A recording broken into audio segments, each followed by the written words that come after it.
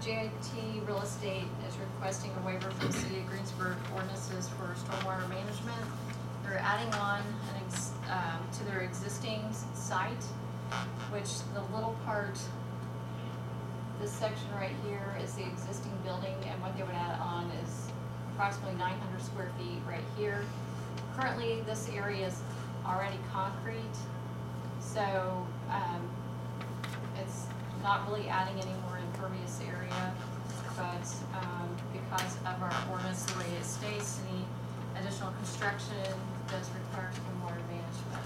So they're asking for a waiver simply because the area that they wanna add on to, like, this area right here is already concrete, and they feel all this site is already impervious area that's draining currently into our, to Lincoln Street and to the storm sewers that's around.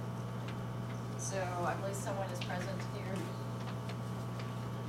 You wanna come forward and state your name for the record? My name is Paul Vinder Singh. I'm a owner of the JT Real Estate. Some of my engineer is uh, said today he can show up.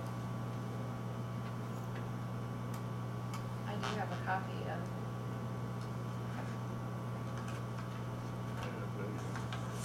How many square feet's the current building? Uh, There's a four hundred twenty-nine square foot, I believe, the previous building, total building gonna be fifteen oh eight, something like that. Okay, so.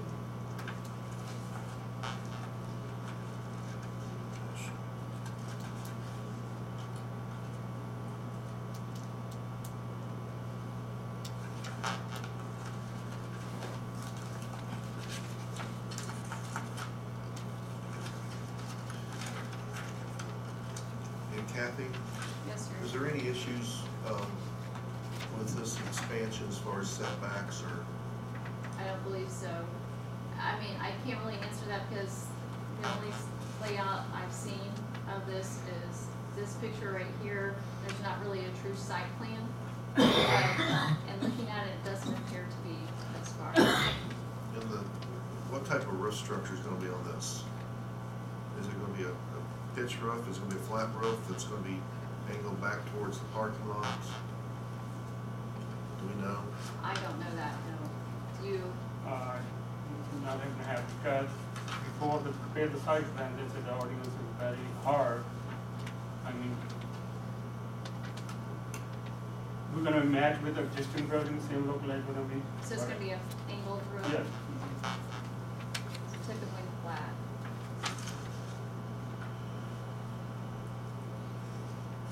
So we have a building's gonna be more than doubled in size, sitting on concrete, and we're asking for a waiver from the stormwater study. Right, because the exit, where it's going is already concrete.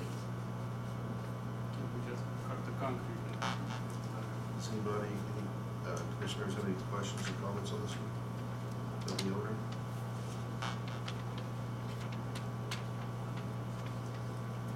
Do we, do we have any, do we have any concerns with water on the property right behind Swifty Station currently? Not that I'm aware of, and no one has, everyone was uh, notified around, um, adjoining property owners and adjacent property owners, and no one called in to complain whatsoever.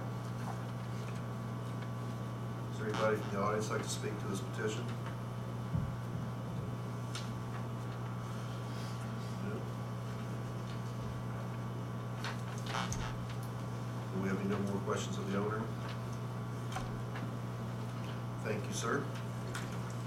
So, gentlemen, we have, it's pretty, straightforward, we it or we don't. Any thoughts, comments? I go, I go, I'll just, my comment is this, I go back to the same conversation that we had with Shawn. I mean, I know it's concrete. I know it's, there's no, there's stuff there, but when you look at one fifty-three point one five, our stormwater, we are gonna be changing drainage patterns with the addition of nine hundred square feet of roof. Um, Probably not changing ground contours, um,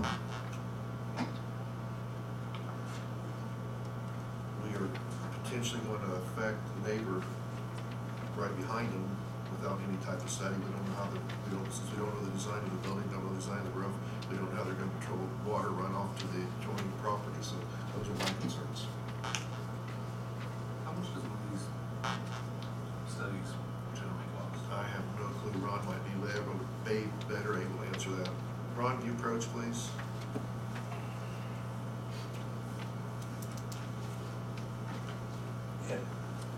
answer to your question, Phil, it depends on the, the site. It depends on the contributing areas. Um, I would estimate, and this is kind of a wild guess, but probably five to ten thousand. They're quite, I some of rather, It depends on too, how you can detain, or, yeah, detain the flow. Stormwater ordinance is not designed to reduce the amount of water that runs off, but it's to decrease the rate at which it runs off, so it doesn't hit the downstream areas as quickly. Right. Is there a way that the owner of the property could work with you to come up with something you felt comfortable with without doing the study or no? It's, it's throwing a dart at the dartboard without doing the detailed analysis, otherwise there's a lot of speculation and it's not much value. Okay. I mean, the only comment I guess on this is it's, it's not being absorbed by the ground now. Or I think in Shawn's case it was different, that's my, that's the only, The proposal is likely not going to increase the volume or the rate. The question is, is this a lost opportunity to improve the flows in Gas Creek? Lost opportunity to work the story. Lost opportunity, lost opportunity to improve or decrease the flow rate ultimately in Gas Creek. And while this is not a large area, collectively, they all start to add up at some point. any other questions, Ron? Thank you. Any other comments from the audience? I, I think I have another, comment. Okay. I still think we have to look at improving those sites along Lincoln Street. And with it being hard surface, these are two completely different situations because we have a soft surface with Green Sign's in an area where it's gonna run right into that detention pond. We, we all know this. I don't see on Lincoln Street on a hard surface area with the drainage we already have there off Lincoln where this is gonna increase anything to any extent. And this is in a business area right now along Lincoln Street. As long as it doesn't affect the house behind, evidently, they don't have any concern about that. So I, I, I make a motion that we grant the uh, petition. I have a motion from Tom to grant the petition. I have a second. I'll second. I have a second from Jamie. Sean, please take the vote.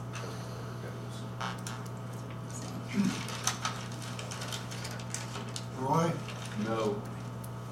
Jamie, Yes. Steve, Yes. Kevin, No. Tom, Yes. Mark, Yes. Phil.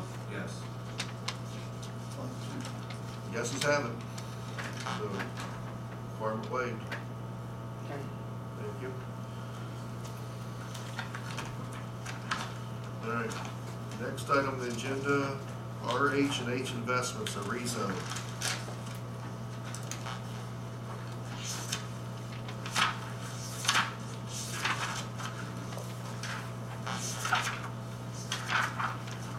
We'll find it sooner or later.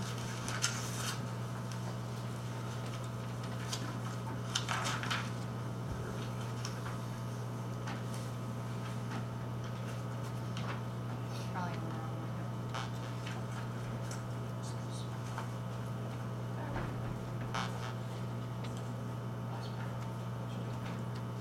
And the applicant before is H and H Investments from Bend, Oregon.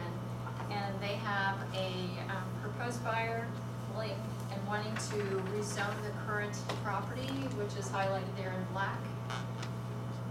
And it's currently, in- you go out North Michigan Avenue towards Honda, towards the interstate, it's the two-story brick house on the the left-hand side. Um, years ago, when Honda came in, we took upon this being the main corridor and all this property was rezoned. And if you notice that the area in orange is the current TIF area, so that's kind of why I outlined that, and I do have a more, better copy of the TIF area. See, so again, the site is right here, and our TIF area is outlined here. So, and this being Honda, most of it Honda. So, um, when rezoning, I think we need to look at, you know, number one, again, this was the main corridor for the B three and the new corridor for, that we were thinking the commercial property was going to be developed. And our comprehensive plan that currently has it being B three. But if, if you decide to rezone it, I think we need to consider buffering, you know, against the current businesses because Hampton Inn is right there. There is ultimately traffic, noise, et cetera, and Greensburg Milling across the street. And that doesn't mean that the properties behind it could not sell for commercial use as well.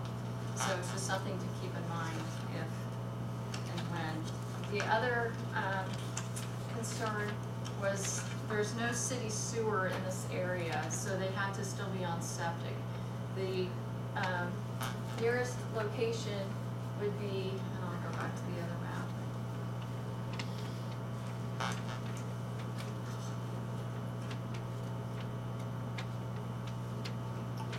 The nearest location is in this area for, um, city sewer. So they'd have to see if this was capable of septic or not, that's their only alternative for that. Rural water does run in front, so they'd have to connect to rural water. I know some time ago, there was, um, issues of this being a historic site. The only thing historic on the site is the steps, the current steps.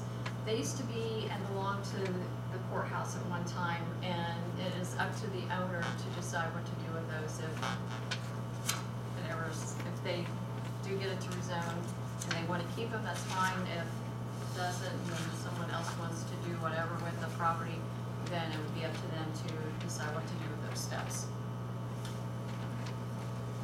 And I think the potential buyers are here, so I'll let them answer any questions you may have.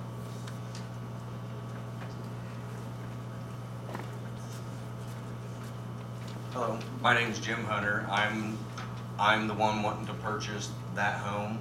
Um, I understand it's B three commercial. I'd like just to see, and RH and H, you know, gave me permission to speak on their behalf, just to, in favor, just, just because they, they're, they're ready to move on with, with this investment. Um, with that being said, you know, as a, a lifelong resident of Decatur County, Greensburg, it would be nice to get this home back in Indiana from the owners in Oregon for a simple fact. We want it to restore the home. We want it to live in the home. Now, we understand, you know, you got some issues we're gonna have to take care of. But I promise you that this house was built in eighteen sixty-eight, so this year makes that home hundred and fifty-one years old. So back then, when they built a home, this home was built right. The floor joists is hand-hewed beams of hickory. Now granted, you go back here now and you see a hole in the roof. The trusses is four inches wide by six inches, you know, four inches thick, six inches wide. So it, the house is stout, regardless of what you see on the outside.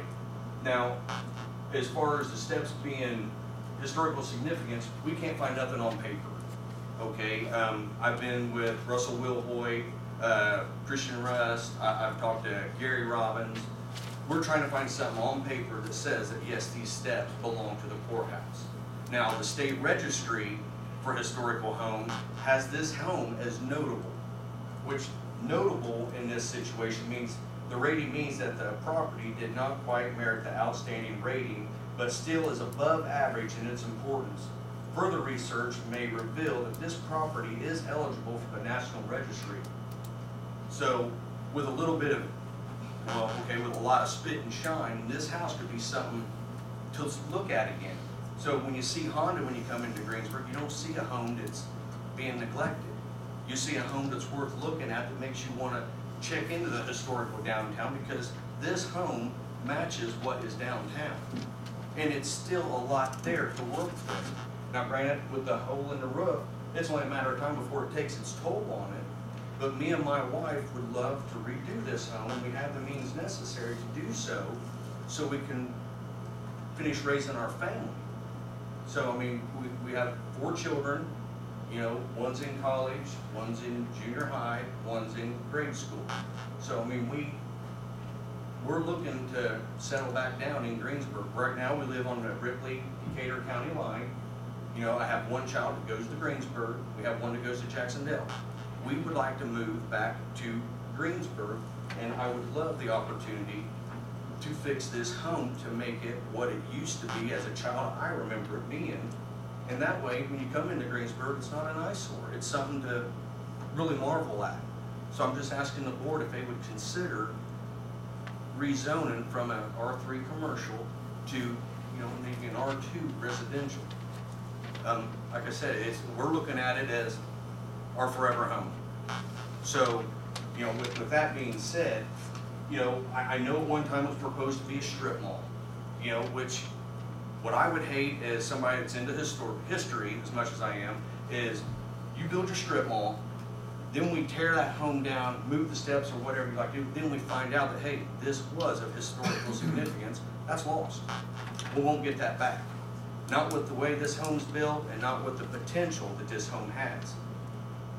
So, you know, I just, just would like to, you know, if you guys really would think about it, I'd really appreciate it. Thank you, sir. If you got any questions, I'll answer what I can. I got one question. Jim. Yes. Uh, What, on the law, I know you're saying this would be forever home, but what would your feelings be if both sides of you developed commercially and all of a sudden you got a home right in the middle of a commercial district? To be quite honest with you, we have four kids, and I understand that's not an excuse, but, you know, me and my wife has talked about it, and we know Honda goes in front of it every day. I mean, we still, we're still interested in the home, because we, we consider that, especially having a young one, that busy highway, you know, it's just stuff you think about. And honestly, you know, we, we've given it some thought, and we still feel that we would like that home. You know, even though, you know, it's less than two acres, we're still more adamant that fix that home. That, the other concern I got is the septic one, uh, because of the size of the home that garage that goes with it. Correct. Is, is whether it's adequate room to get a good working Sure. system.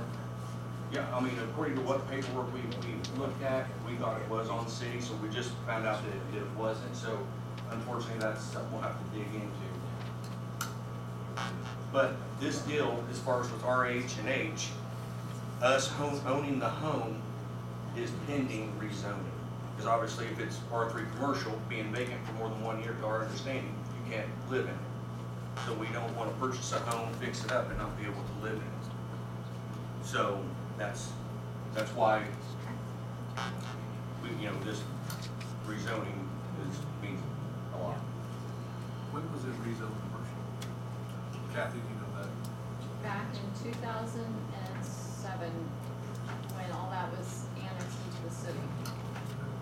So it's, has, has it been vacant that whole time? since 2000. 2000? Thereabouts, yes.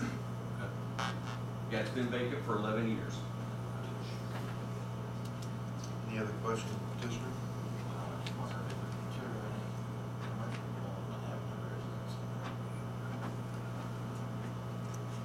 Just kind of to the, was it west of that, there's another property there that's like a three-car garage with an apartment on top, I guess. That's part of that property. It's part of that No, same it's two property. separate.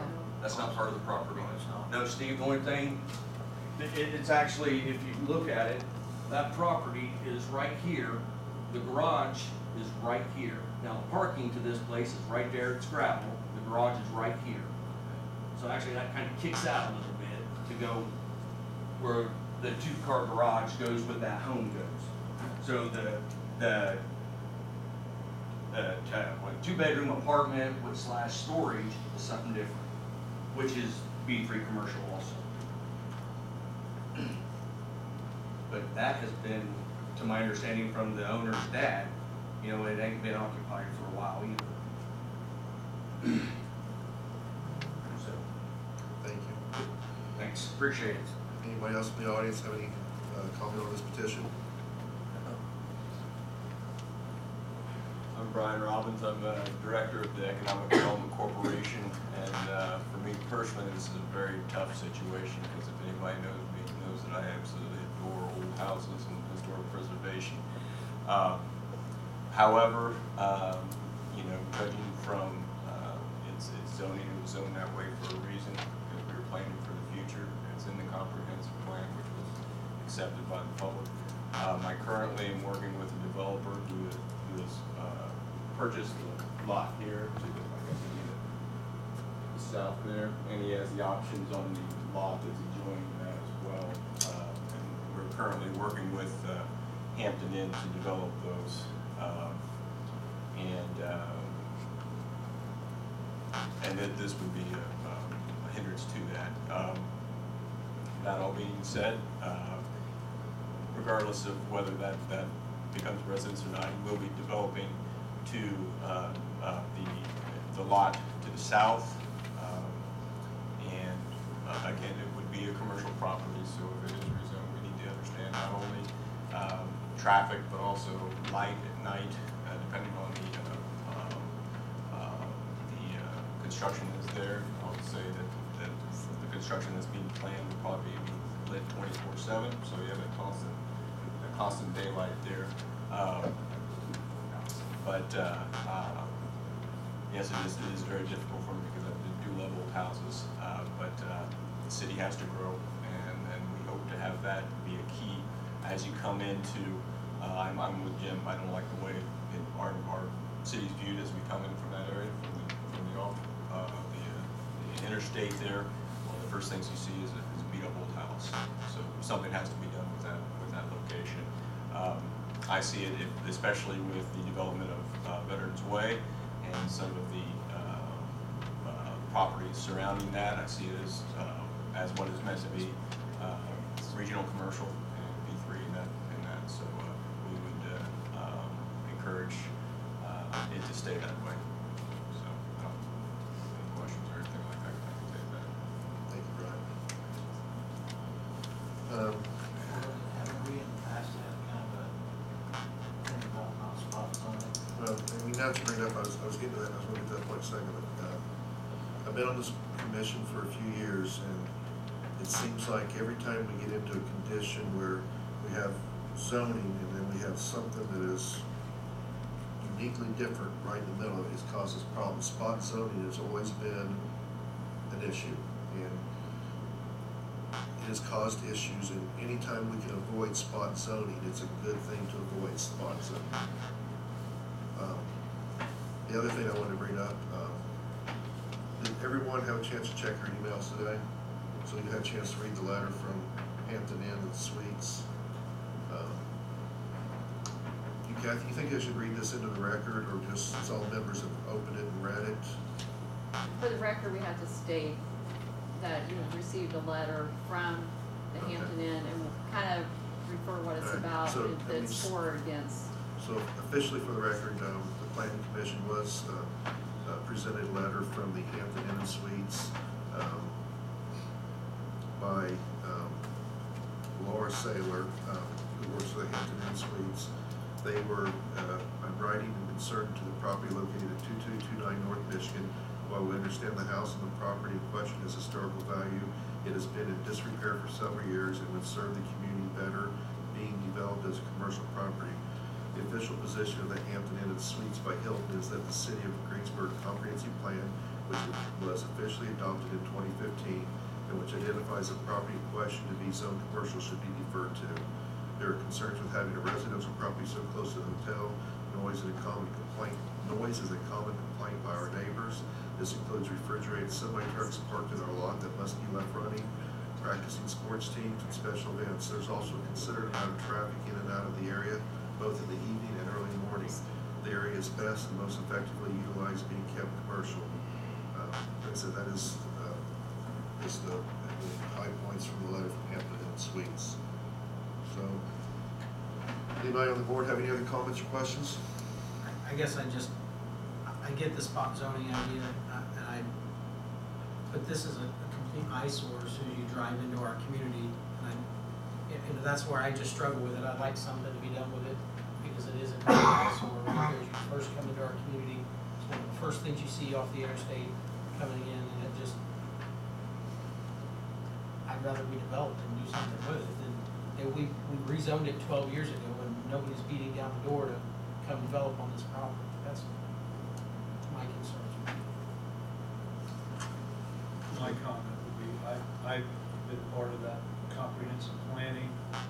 We spent a lot of time and setting different areas for different developments. And this is one of the key areas for commercial development on that side of town, both sides of four twenty-one there. And, You know, I, I really wish, you know, could look a different way, but we can't, we can't come up with a comprehensive plan and designate areas as commercial development and then spot. And That's, it will waste a lot of money and a lot of time to, to, planning, and I think is a good plan.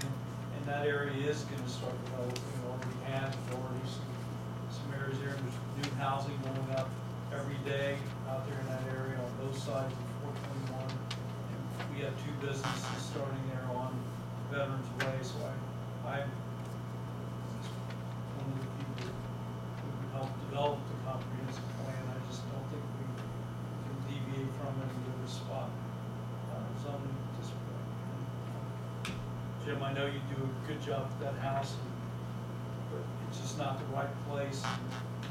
With it not being already hooked up to city utilities, you know, that's a, that's another issue there with it as well. Thank you, Tom. Any other comments from members? I'd just like to agree with what Tom said. I also served on a lot of this for the comprehensive plan, and we put a lot of time and effort into this. And, and I hate to see us spot zone that area. And Jim, I- again, I know you do a good job. That's, that's not the issue. It's just not right for that place.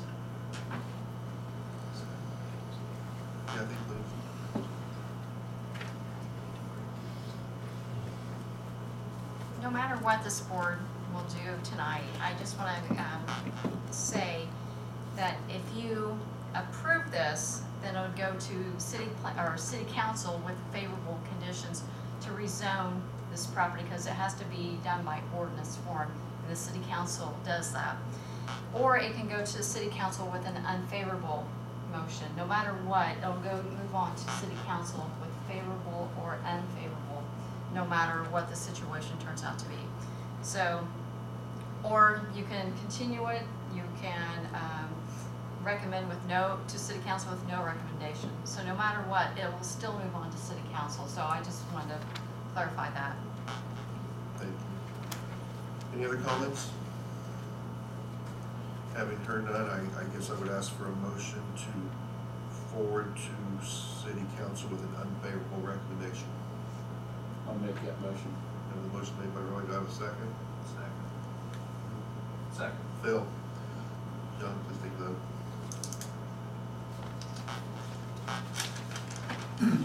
Roy, Yes. Jamie, No. Steve, Yes. that was yes. Kevin, Yes. Tom, Yes. Mark, Yes. Yes. Phil. Yes. Six one. So that will go to city council with an unfavorable recommendation. Thank you, gentlemen. Other business, parking ordinance.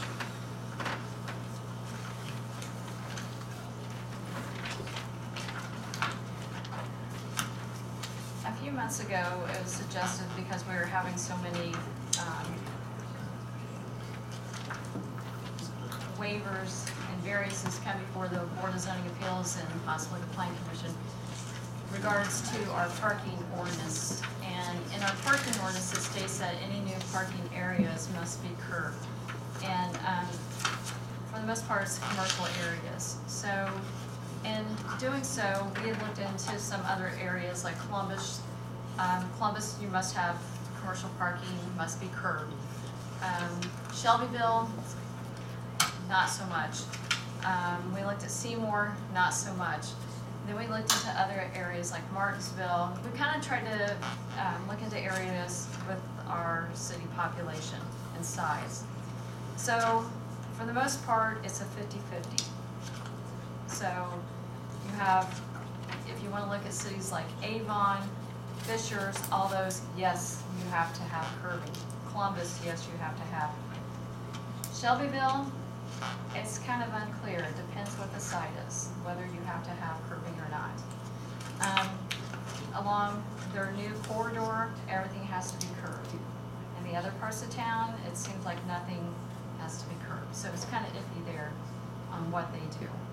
But, um, Seymour doesn't have really anything in place that requires any new commercial, um, facilities to have curbing around their areas. Martinsville's basically kind of the same way. Um, and then you get into other, like I said, towns, um, Connersville, there's nothing in place. So it just depends, it's all up to what we wanna do. So if we wanna keep what we have in place, or, you know, we have been, um, we kinda took a little break because Ron has Lincoln Street that he's trying to get accomplished and out of the way. Um, we've been looking into revamping our ordinances, so, you know, now's the time to say if we want to, you know, limit the curbing, or, you know, depends on where the area's at because of drainage.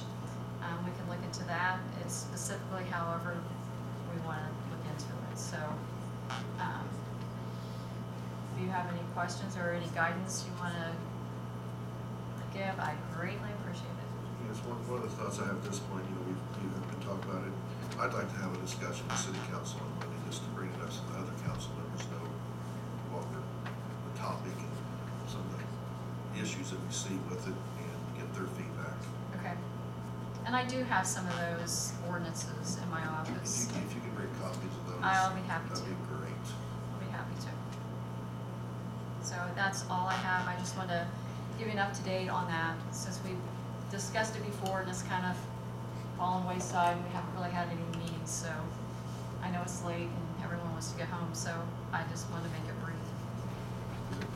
Other commission members, would think it a good topic, we discuss with it, get other council members' feedback, bring it back to the commission. Um, junk letters, Junk letters. Um, for the most part, the only one we have outstanding is the one we had okay, really tonight. Um, I've really had kind of good luck, um, with people and when we send one out, there's a couple that I've turned over to Chris to take care of. Um, one's on, um, um, Hendrick Street, I believe, and one, the one on the fort, she did clean up her property. So we checked that out the other day and, um, a lady had several garbage bags piling at the side of her house. And, um, we turned it over to Mr. Tebby to take care of, and he sent her a letter, and she has since cleaned up her property. Um, there's another one on West Street that, um, Mr. Tebby sent a letter to, and because of the weather, they're trying to get it clean, but I'm trying to work with them.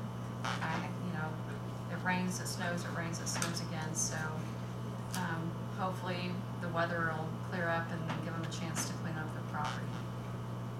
thank you, Kevin. You're welcome. Any other items of interest for the commission? Having heard none, I take a motion to adjourn. Have a second?